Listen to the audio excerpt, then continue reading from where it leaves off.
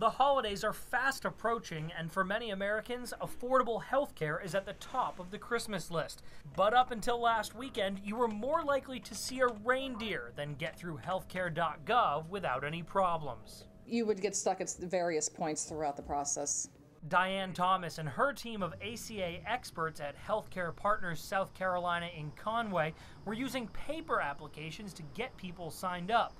But since the White House relaunched the website last weekend, things have been getting better. Um, over the last couple of months, we have done a lot of the paper applications, and finally this week we are able to go online and start from beginning to end and get people enrolled. And just in time, Thomas says after a dip in interest thanks to the website's issues, word has gotten out that the site is back on track. We are getting more questions, um, especially this week with the relaunch of the website. There seems to be more interest, and also with the deadline coming up. I think everybody has a tendency to procrastinate a little bit and kind of waiting until the website is up and running, and that is now.